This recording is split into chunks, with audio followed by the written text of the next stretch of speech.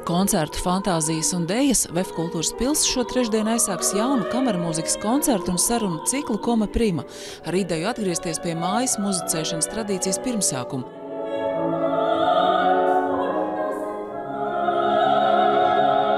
Kāpēc koma prima? Jo tas ir itāļu mū, valodā mūzikas termins, kurš nozīmē kā iesākumā, kā kādreiz. Nu, tā kā mēs arī esam tādā tā kā iesākumā, tad arī kameru mūzika šeit atzīst savā pirmotnējā veidā. Tā kameru mūzicēšanas tradīcija, kas nāk jau no seniem gadsimtiem, šodien ir ļoti atdzīvojusies, un cilvēki pēc tās augst. Un augst ne tikai pēc skaistas mūzikas, pēc intīmas mūzikas, bet pēc tās gaisotnes. Koncerta cikls tiek veidots sadarbībā ar Latvijas Rādio 3 klasika. Visi koncerti tiks ierakstīti, lai vēlāk tos atskaņot klausītājiem, par kuru izglītošanu mūzikas vēsturē un sarunām ar mūziķiem rūpēsies Radio klasika programmu vadītāji, tostarp muzikoloģi Gunda Vaivodi.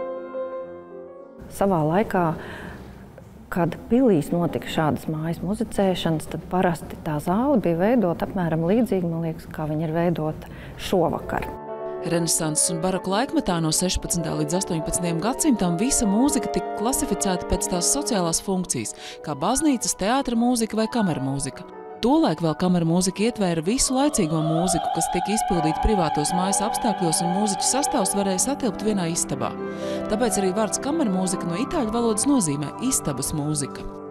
Mūsu kamerzālē uztaps it kā uh, veco laiku salons, nosacītā veidā. Mēs tiešām aicināsim ļoti dažādu veidu mūziķus, gan jaunos Latvijas talantus, gan profesionālus mūziķus.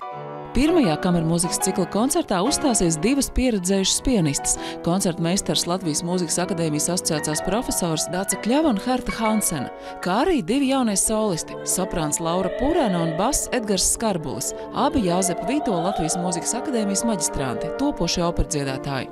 Koncerta programmā skanēs Franča Šūberta, Ludviga van Beethovena, Antonīna Dvoržāka un Hugo Wolfa skaņdarbi.